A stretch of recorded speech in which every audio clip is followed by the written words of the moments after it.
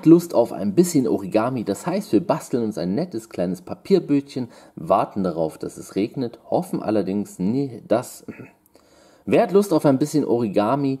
Und zwar heißt das, wir basteln uns ein nettes Papierbötchen, warten jetzt auf ein bisschen Regen, lassen dieses Bötchen die Straße runterfahren, hoffen allerdings äh, inständig, dass das nicht irgendwo in der Kanalisation landet, denn dort leben obskurerweise neben Krokodilen auch Clowns und zu denen gehört vor allem Pennywise the Dancing Clown. Und herzlich willkommen Filmfans zu einer neuen Figurenvorstellung und heute geht es endlich um den allerersten, um den Original Pennywise, an den sich natürlich der neue Pennywise dargestellt von Bill Skarsgård natürlich ganz klar messen muss. Tim Curry hat hier neben seiner Rolle, mit der er natürlich in den 70ern seinen Durchbruch hatte, als Dr. Frankenfurter an The Rocky Horror Picture Show, eine wirklich absolut ikonischen Schurken ähm, gestaltet. Muss man jetzt mal sagen, obwohl das Ganze nur ein TV-Film war, ist mitunter das, wenn man sich so an die positiven Dinge an diesen Zweiteil erinnert, ist es vor allem die Performance von Tim Curry, die nach wie vor ungebrochen ist, die faszinierend ist und äh, natürlich wird es interessant nächstes Jahr sein, ob sie es geschafft haben, ihn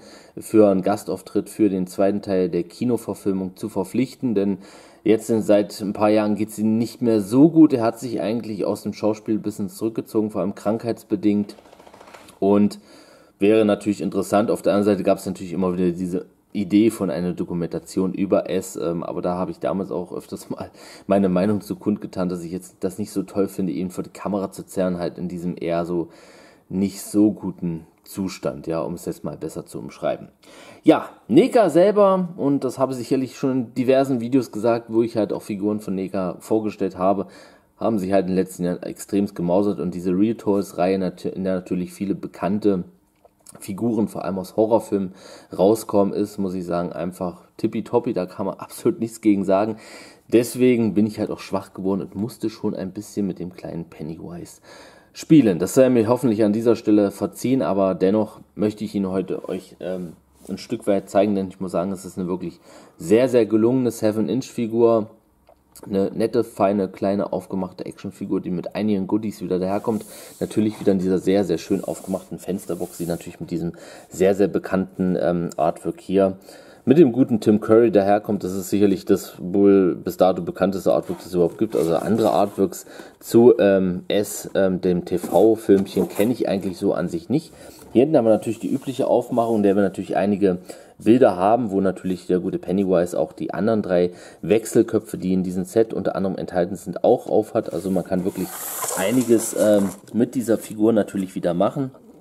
Hier unten haben wir natürlich ganz klar die Zusammenfassung, was sich hier inklusive noch drin befindet. Also wir haben ein Papierbötchen, wir haben halt insgesamt vier Austauschköpfe, wir haben dann natürlich noch sieben Austauschhände und sieben Ballons. Ja, sieben Ballons. Beim ähm, anderen Pennywise waren sie da ein bisschen sparsam gewesen, was die Ballons angeht. Ja, dann hat das Ganze natürlich wieder einen schönen Klettverschluss, ähm, diese Fensterbox. Und wie ihr seht, haben wir natürlich auf der Seite nochmal ein schönes, schönes Bildchen von dieser Figur äh, in Pose natürlich ähm, sehr, sehr passend gestaltet zu einer ganz bestimmten Szene aus ähm, dem ersten Teil was wirklich sehr, sehr toll aussieht. Und auf der anderen Seite natürlich haben wir den guten Herrn. Ähm, und ähm, ich muss sagen, wirklich, also ich bin echt, echt begeistert von dieser Figur.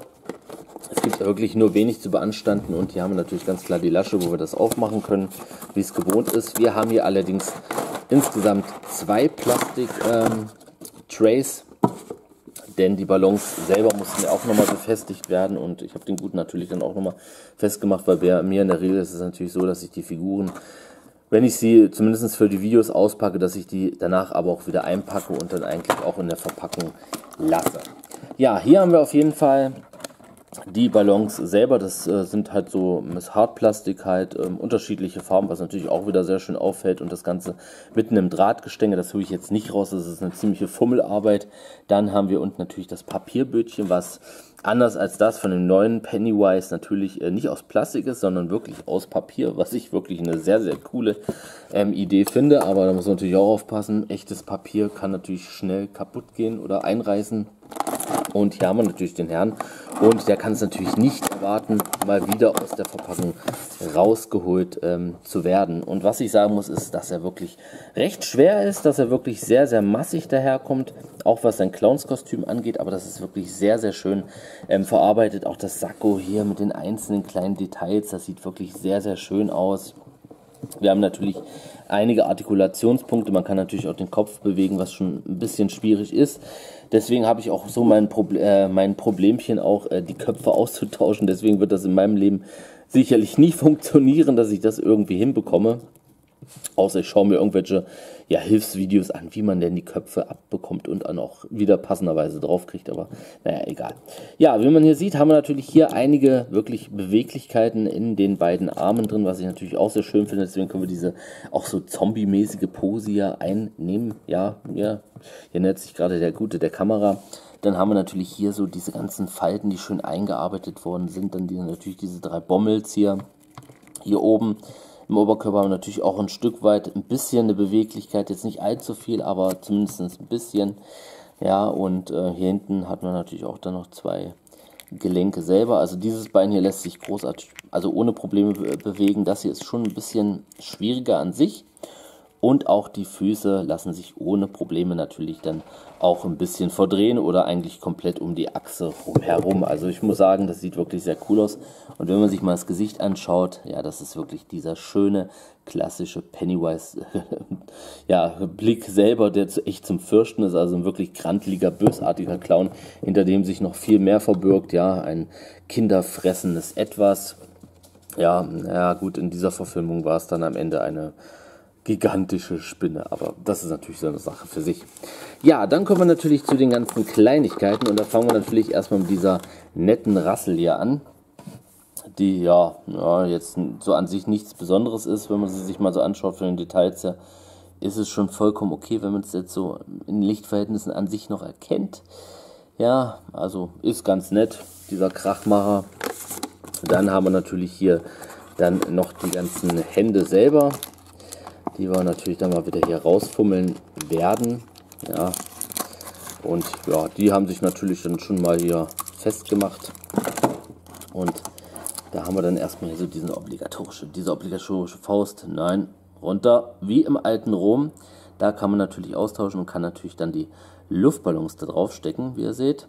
Ja, ist jetzt nicht so megamäßig detailliert, weil das halt so diese Handschuhhände von Pennywise sind, aber sieht schon ganz gut aus. Dann haben wir natürlich diese Hand hier. Da kann man natürlich dann auch die Luftballons reinstecken. Sieht auch ganz gut aus.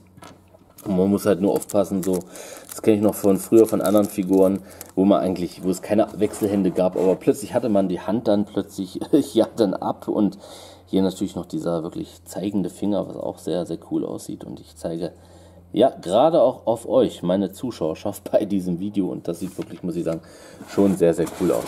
Ja, dann kommen wir natürlich auch noch zu den Monsterhänden, die Pennywise hat. Die natürlich auch sehr, sehr schick ähm, designt sind. Ja, muss man einfach mal so sagen. Aber die auch so, da muss man auch schon ein Stück weit aufpassen, dass man die nicht irgendwie so ein bisschen abmacht. Aber hier von der Farbe her und die Krallen so, das sieht wirklich, muss ich sagen, sehr, sehr cool aus. Vom Designer gefällt mir das richtig gut. Bei der Hand hier genauso. Ja, und dann natürlich haben wir da die Gelenke, beziehungsweise ja, wo man das draufsteckt. Also sieht auf jeden Fall cool aus, macht einiges her. Und jetzt kommen wir allerdings zu meinem absolut persönlichen Highlight und das sind die drei äh, noch zusätzlichen Köpfe, die sich in diesem Set befinden und die mir wirklich ja, äh, von Mal zu Mal immer besser gefallen. Also ähm, der finale Kopf, den ich euch als letztes zeige, ist sicherlich definitiv mein absoluter Favo, wenn ich ihn auf die Figur draufpacken würde. Hier haben wir natürlich noch so dieses, dieses freundliche, grinsende Gesicht, aber man sieht langsam so, wie die Zähne, wie er so die Zähne ausfährt und das ist wirklich von der Struktur her sehr schön verarbeitet. Das Einzige ist natürlich, dass man hier so diese Nahtstelle erkennt, wo das ähm, ja, zusammengeklebt worden ist. Aber ansonsten sieht das wirklich, muss ich sagen, sehr, sehr cool aus. Also von den einzelnen Details ist das wirklich absoluter Wahnsinn, ja. Auch so die Haare, wie schön die gearbeitet worden sind. Also wirklich sehr, sehr cooler Kopf. Dann natürlich äh, der zweite Kopf ist dann, ja, da ist er dann nicht mehr so nett drauf, sondern da hat er wirklich schon einen dämonischen Blick drauf und der Mund ist auch schon ein Stück weit offener und die Zähne sind noch mehr rausgefahren.